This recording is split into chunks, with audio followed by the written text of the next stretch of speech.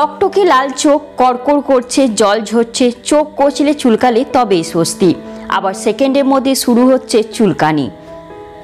ঘুম থেকে ওঠার সময়ে পিচুটিতে চোখ বন্ধ। ওপরে সবকটি লক্ষণই কনজাংটিভাইটিস। অনেকে বলেন জয় বাংলা। কেন এই রক্তচক্ষু এই ব্যাকটেরিয়াজনিত অসুখ অতিমারির চেহারা নিয়েছে? কনজাংটিভাইটিস হলে কি চোখে জল দেওয়া যায়?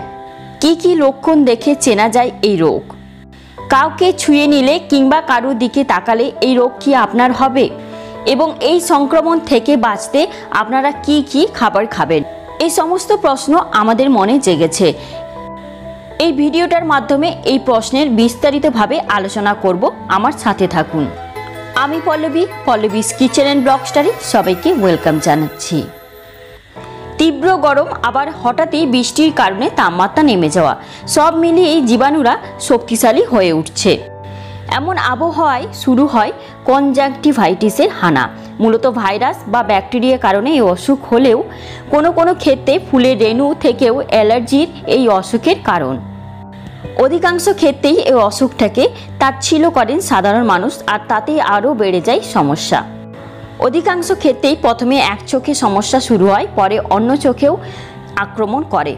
কারণ কনজাংটিভাইটিস হলেই আমরা ধরে নিই যে হেতু এই অসুখ ছোঁয়াছে তাই তার দিকে তাকালে আমাদের তা হবে, এই ধারণা কি ঠিক?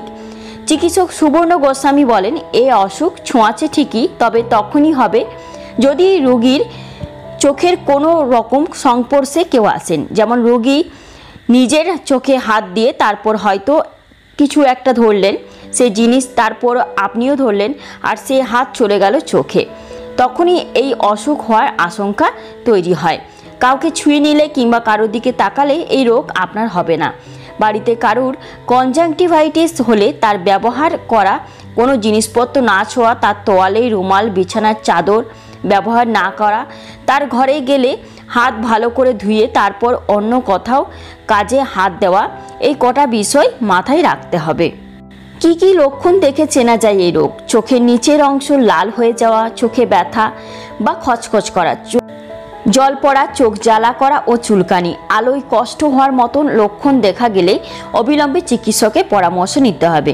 কখনো কখনো চোখের লোম আঠার মতো জুড়ে যাওয়া বা চোখের নিচে ময়লার আস্তরণ পড়তেও দেখা যায় এই রোগে। এই রোগ কি কোনোভাবেই প্রতিরোধ করা সম্ভব? চক্ষু চিকিৎসক কুণাল পাত্র বললেন, কনজাংটিভাইটিস ভাইরাল রোগ। তাই একে আটকানোর তেমন কোনো উপায় নেই। বারবার হাত ধোয়া, পরিষ্কার পরিচ্ছন্ন থাকলে ঝুঁকি খানিকটা এড়ানো যায়। তবে একেবারে এই রোগ হবে না তা বলা যায় না। এই রোগ না হওয়ার কোনো ওষুধ কিংবা ভ্যাকসিন নেই। তাই সাবধানতাই একমাত্র পথ। কনজাংটিভাইটিস হলে কি চোখে জল দেওয়া যায়?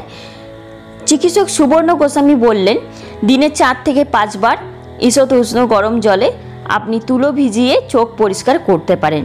তুলো চোখের উপর রেখে গরম ভাপও নিতে পারেন, এতে আরাম পাওয়া যায়। সাধারণত এই ধরনের রোগ প্রথমে শিশুদেরই সংক্রামিত করে, তারপর তা ছড়িয়ে পড়ে প্রাপ্তবয়স্কদের মধ্যে। ব্যাকটেরিয়াল কনজাংটিভাইটিসের ঘটনা হঠাৎ করে বেড়ে গেছে। অনেক রোগীর অবস্থা আশঙ্কাজনক, তবে ডক্টর অঞ্জলি বিরানি বলেন যে অনেক ক্ষেত্রে দেখা গেছে অ্যাডিনো ভাইরাস থেকে ছড়াচ্ছে এই রোগ। তাই বাড়িতে কারও সংক্রমণ হয়ে থাকলে তার থেকে নিরাপদ দূরত্ব বজায় রাখতে হবে। এ চোখ স্পর্শ করা যাবে না। খুব ভিড়ের মধ্যে যাওয়ার প্রয়োজন নেই। অ্যান্টিঅক্সিডেন্ট সমৃদ্ধ ফল ও সবজি খেতে হবে। সঙ্গে রাখতে হবে ভিটামিন বি টু এবং ভিটামিন সি সমৃদ্ধ খাবার, দুধজাত খাবার, টমেটো, সবুজ শাকসবজি এবং পেঁপে, বাদাম ও কলা। ভিটামিন সি এর জন্য সাইট্রাস জাতীয় ফল, যেমন আমলকি খাওয়া উপকারী বিটা ক্যারোটিন রোগ প্রতিরোধ ক্ষমতা শক্তিশালী করে। সেই জন্য কুমড়ো, কমলা, গাজর, পেঁপে এসব খাওয়া প্রয়োজন। কনজাংটিভাইটিস হলে অ্যান্টিবায়োটিক ড্রপ ব্যবহার করা যেতে পারে, তবে অবশ্যই চিকিৎসকের পরামর্শ নিয়ে। ডাক্তাররা বলছেন যে প্রথম পদক্ষেপটি হলো ঘন ঘন আপনার চোখ স্পর্শ করা, এড়ানো, বিশেষ করে যদি আপনার হাত সঠিকভাবে ধোয়া না হয়।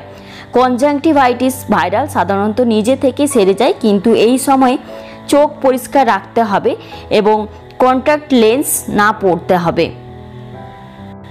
সংক্রমণের বিস্তার এড়াতে বাড়ির অন্যান্য সদস্যদের নিয়মিত তাদের হাত ধোয়া উচিত এবং সংক্রামিত ব্যক্তিও তাই করা উচিত।